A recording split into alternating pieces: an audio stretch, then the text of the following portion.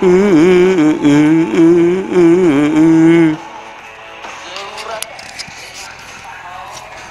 も。安田弁護士石原です。えっ、ー、と今日はですね、えー、今まであの食い逃げってどうなのとかそんな話してきましたけどじゃあそういうことをした結果罪になったら、えー、どんな刑罰って食らうんでしょうかみたいな、まあ、こういう刑事事件みたいな話のケツの部分ですねちょっとやってみたいと思います。じゃあ早速登場してもらうことにしましょう。多重人格君いつも通り犯罪者です、えー、ワンコロ君今日はおまわりさんというよりもどっちかといえば刑務官刑務所の見張ってるおじさんのイメージです。いきましょう。おい30番多重人格はい。働け。はい。刑務所ってこんなノリです。基本的にこれ懲役というものを受けている人でこれで言うとこれ働かされる人働かされるんで駅って字がつくんですけどこれが懲役という状況です。まあ今のは1個の例なんですけどこんな感じでどんな刑罰があるかまずパンダ君にやってもらいましょう。パンダ君お願いしますお願いします。まず刑というのは命を取られちゃうとっても悪いことをして命を取られちゃう死刑とまあまあ悪いことをして自分の体が自由にならなくなる刑がありますよ。なるほど。じゃあ自分の体が不自由なるつまり閉じ込められちゃ何があるのパンダ君はい今多重人格がやってた懲役というのとまず禁錮というのがありますそしてあんまり有名じゃないんですけど交流っていうのがあるよなるほどじゃあ、懲役というのと禁錮というのはどう違うのパンダ君。はい、ホワイトボード見てください。懲役は多重人格が働いてたみたいに働かされます。禁錮というのは閉じ込められちゃいますけど働かなくてもいいです。長さは？うん。両方とも1ヶ月以上閉じ込められて働かされたり、働かなくていいのが禁錮と言います。なるほど。でも懲役10年とか15年もあるよね。あります。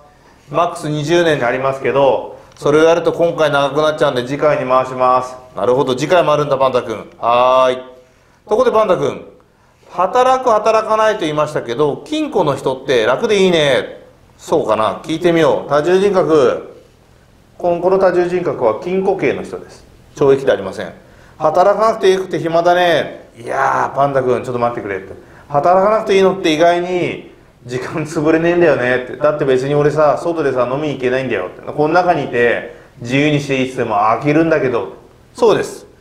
禁錮刑というのは次回やるように働く義務はないんですけど現実飽きますから中にいる人は自分の意思で自主的に懲役の人と同じことをすることが多いです。つまり働く義務はないけど働いてもいいのが禁錮刑です。ちなみに働くんだからパンダ君はいお小遣いもらえるのかな。うーんほんの少し。この笹が買える程度。そうなんです。懲役をした場合に働くわけですからお金もらえるんですけど普通の給料みたいにたくさんもらえるとちっとも罰にならないですよね。そこで報奨金という、まあ、ちょっとしたご褒美的なことものをもらえますけどイメージで言うと、まあ、月、まあ、1000円ぐらいとか2000円ぐらいとかそういうレベルなんで正直勤め終わったからといって外に出た時にそれで飯食えるとか貯金になるとかそういうレベルではないです。でわずかなお金をもらいながら罰として働くのが懲役、えー、働かなくてもいいのが禁錮ということになります。なぜ片方働かなくていいかはまた次回やります。パンダ君はい。さっきなんかもう一個言ってたよね。うん。交流というのがあるんだ。短いやつなんだよ。1ヶ月未満閉じ込むんだよ。多重人格がと遠くから話しかけてきました。それってあれだろパンダって。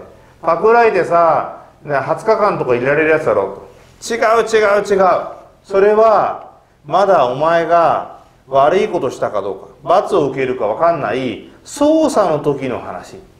ホワイトボードでやってんのはマイナーなのもメジャーなのも全部悪いことをしたと裁判で決められた結果受けるやつの話。なんです。そうなんです。実はこの交流というのは期間も短いしちょっとマイナーなんですけれども実はこれもあくまで刑事裁判をした結果お前は何々をした。だから1ヶ月目真ん中にいろというのが交流です。まあ非常にマイナーなんですけどあくまでよく世間で言うパクられた後例えば痴漢をしてパクられて20日間交留されたと。字も読み方交留と同じなんですけどそれとは違うシステムだっていうのをこの1の中では知っておいてください。次回2の時にじゃあ、えー、もう1個のそのパクられて20日間いるとかいう交流はどういう漢字書くのかとかその辺のことはまた次回やっていきたいと思います。パンダ君次。はい。もう1個は悪いことをした結果財産取られちゃうのがありますよ。罰金でしょパンダ君？そう。でも罰金以外にも覚えてね。罰金と過料があるよと。なるほど。何が違うのかな？悪いことを結構悪いことすると罰金ということで1万円以上の重い罪になります。それに対してそこまでいかないしょぼいことをすると過料というので1万円以下になります。まあ正確には未満かな？になります。なるほど。このように罰金刑といって、えー、命を奪われたり閉じ込められるほど悪くない場合にはお金を奪われるという問題があります。まあ、中には例外として陛下といって懲役何年罰金いくらっていう、まあ、両方併存するのもあるんですけど基本的には重いことをしたのとそこまで重くないと思ってて間違いないと思います。でパタ君今日終わろうか。待ってまだ残ってる。括弧2で不可刑。おまけの刑というのもあるよ。パタ君何がおまけなのそれ？それはですね不可形というのは別にそれを貸さなくても貸してもどっちでもいいんです。どういうこと？それはメインの懲役とか罰金決めた後にこれも必要だなと裁判官が思えば裁判で発表します。でも裁判官がいやメインの刑だけでいいと思えば括弧2の不可刑はありません。どういうこと？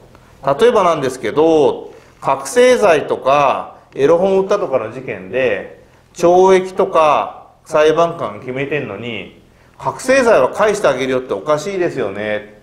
君懲役2年あ没収あ没収じゃないえっと警察が預かってる覚醒剤は君に返してあげるよ吸ってくださいって異常ですよね、えー、君エロ本扱ったから懲役何年執行猶予何年。じゃあ執行猶予中はこのエロ本また見てくださいとか売ってくださいとかおかしいですよね。要するに犯罪の対象になったものとかは懲役にしたりあるいは執行猶予にしたりいろいろありますけれどもそれと同時に没収するのが筋じゃないですか。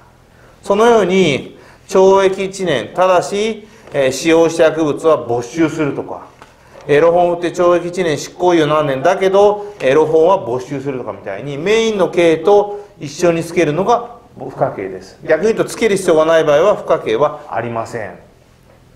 ここまでいいですかね。パンダ君いいよね。はい。じゃあ最後に刑罰の話をしているのに刑でないものをやりましょう。それっている？いる。まず言葉からして紛らわしいからやっておく必要がある。なるほど。何て読むのパンダ君？過料です。あら。過料です。過料です。そうだねパンダ君。過料という言葉が2個出てきてしまった。紛らわしい。説明してこの過料。はい。こっちの下の過料はですね行政罰と言います。何行政罰って？行政罰っていうのは犯罪をしたわけじゃないけどちょっとルール違反した時に課せられちゃうものです。ちょっとその意味わかんないから具体例欲しいんですけど分かったパンパン。例えばですけど路上でタバコを吸うなって言ってんのにタバコを吸ったやつがいた場合に、えー、どっかの県とか都道府県の条例で過料いくらになりますって決まったりしますなるほど。うんうんうん。なるほど。ということは犯罪をしたわけじゃないけどマナー違反とかルール違反した場合に課せられちゃうやつかな。そうです。だからこっちの過料はあくまで刑事になって刑事裁判で課せられるものに対しこっちの過料はそうじゃなくて東京都とか県とかが、えー、の手続きの中で課せられるものです。要するにこれは刑罰じゃない。ただし言葉に似ているという違い気をつけてくださいちなみにこっちの刑罰の方の過料は1万円まあ未満なんでしょうけど以下っていうか未満ですけど金額決まってますけどこっちの過料どうかなというとこれは1万前後とかそういう条件ありません。まあそんなに多額のものはないです。だって刑罰じゃないんですからただ単にお仕置きなのにその多額なのおかしいんで安めですけど1万円超えちゃいけないってルールはないんで5万円とかそういうとこありますんで金額の問題じゃなくて、えー、マナー違反ルール違反した時のお仕置きと犯罪は全然違う。ということはもしこいつがマナー違反してこっちの過料を食らったとしても前科者には別にならないですね。前科じゃないですね。でも上の過料は金額が軽かったとしてもこの多重人格野郎がやった場合は当然前科者ですね。という違いがあります。またですね、えー、死刑ってどうやるのとかですね。なんで金庫は働かないのとかね。交流ってもう一個の交流って何ですかとか。またちょっと次回、えーと、あんまり長引っ張りするとみんなが見てくれないでこの YouTube がどんどん落ちていっちゃうんで、えー、長引っ張りせずに今回はコンパクトに終わらせたいと思います。じゃあまたね